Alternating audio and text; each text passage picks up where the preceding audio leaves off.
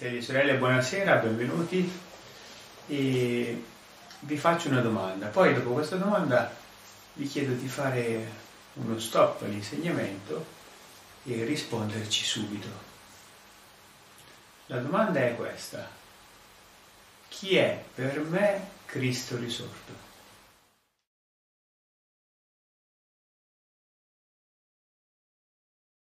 La Bibbia dà molte risposte a questa domanda, tantissime.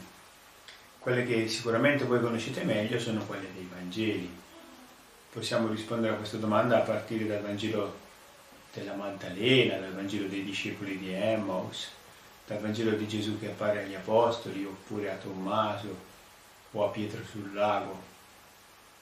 Ma penso che probabilmente non avete mai risposto a questa domanda a partire da questo brano che ora vi leggo. Si trova al capitolo primo dell'Apocalisse e al versetto 9 fino al versetto 18 possiamo dire che Giovanni ci descrive per lui chi è Cristo risorto. Cioè lui risponde alla domanda a cui avete risposto voi. Per me Cristo risorto è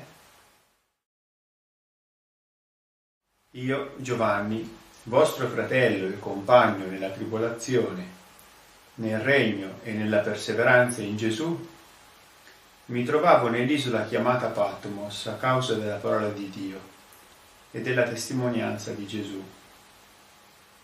Fui preso dallo Spirito nel giorno del Signore e udì dietro di me una voce potente, come di tromba, che diceva quello che vedi scrivilo in un libro e mandalo alle sette chiese, a Efeso, a Smirne, a Pergamo, a Tiatira, a Sardi, a Filadelfia e a Laodicea. Ecco Giovanni si presenta e Giovanni dice che a causa della sua fedeltà a Gesù, a causa della testimonianza che lui ha dato a Gesù risorto, si trova prigioniero, si trova esiliato in un'isola chiamata Patmos, esistente ovviamente tuttora. E mentre qui, eh, in ogni caso, con la sua comunità riesce a celebrare il giorno del Signore, riesce a celebrare la domenica. E la domenica che cos'è se non il giorno in cui Gesù è risorto? La domenica noi celebriamo tutte le domeniche la risurrezione del Signore e la celebrazione domenicale è l'incontro con Cristo risorto, perché Gesù appare sempre alla sua Chiesa riunita. E qui eh, una voce gli dice di scrivere ciò che vede e di mandarlo alla Chiesa, le sette Chiese, la pienezza della Chiesa, sette è il numero della completezza. Ed ecco che ora ascoltiamo quello che Giovanni vede. Mi voltai per vedere la voce che parlava con me. E appena voltato vidi sette candelabri d'oro. E in mezzo ai candelabri uno, simile a un figlio d'uomo, con un abito lungo fino ai piedi e cinto al petto con una fascia d'oro. I capelli del suo capo erano candidi, simili a lana candida, come neve. I suoi occhi erano come fiamma di fuoco. I piedi avevano l'aspetto del bronzo, splendente, purificato nel crogiuolo. La sua voce era simile al fragore di grandi acque teneva nella sua destra sette stelle e dalla sua bocca usciva una spada affilata a doppio taglio e il suo volto era come il sole quando splende in tutta la sua forza. Ecco fratelli e sorelle, questo è Gesù risorto per Giovanni. Prima di esaminare i dettagli di questo brano, vi dico come, come si conclude la visione. Appena lo vidi caddi ai suoi piedi come morto.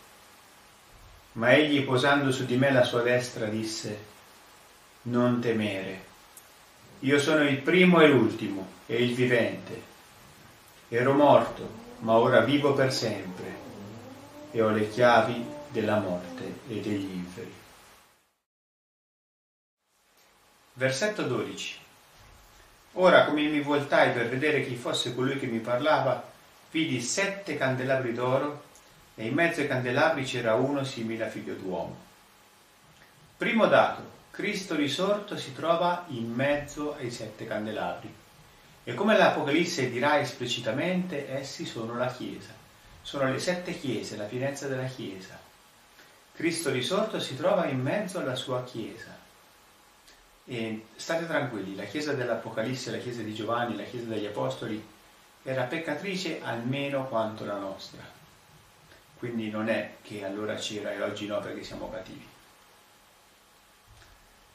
C'era uno simile a figlio d'uomo, quindi il Cristo risorto è simile al figlio dell'uomo.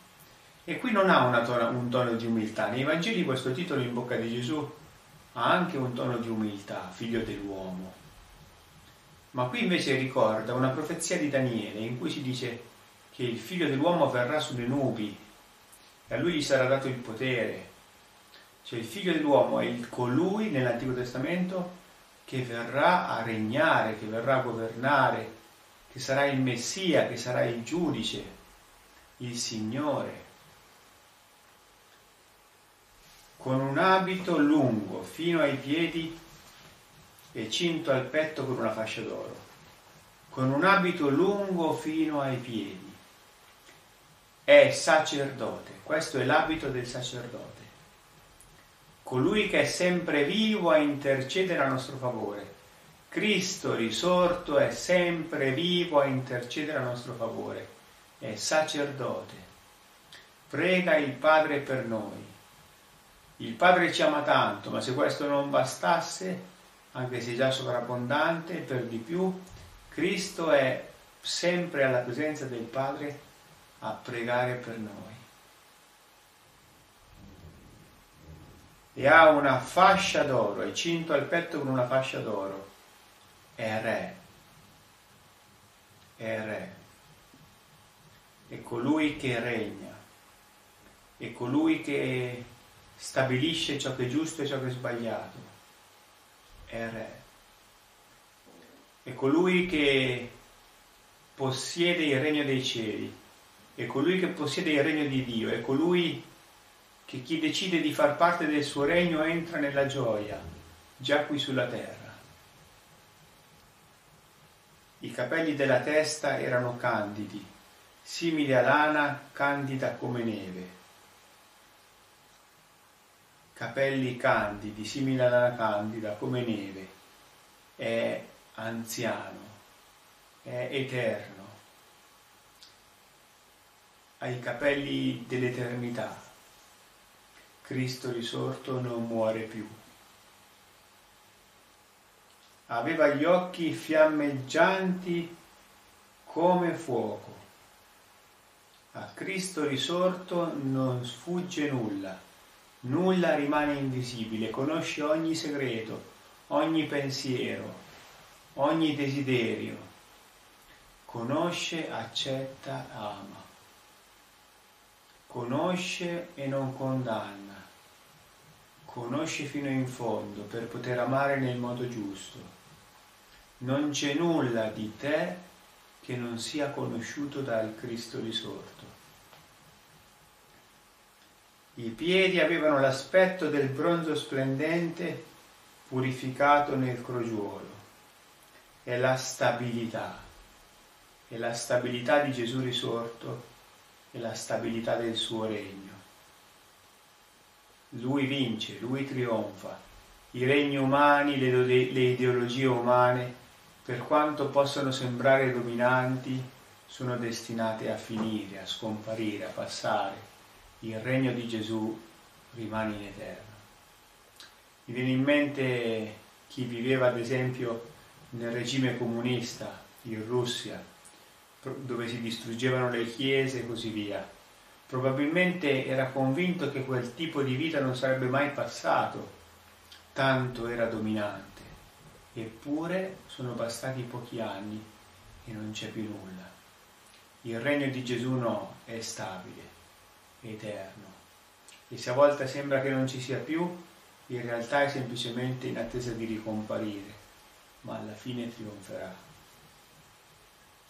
La voce era simile al fragore di grandi acque. Immaginate le cascate, io in testa le cascate delle marmore, che fragore, che rumore.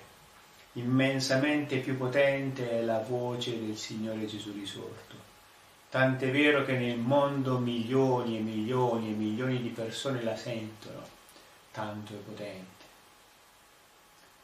È anche vero che nonostante questa immensa potenza noi facciamo difficoltà a sentirla e a volte diciamo che non parla, ma il problema è la nostra immensa sordità spirituale, perché la voce del Cristo risorto è più potente della voce di grandi acque.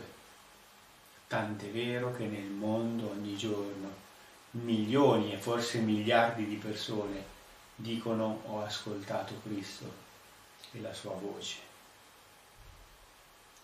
Nella destra teneva sette stelle e la Chiesa sta nella sua destra, sta nelle sue mani dalla bocca gli usciva una spada affilata a doppio taglio.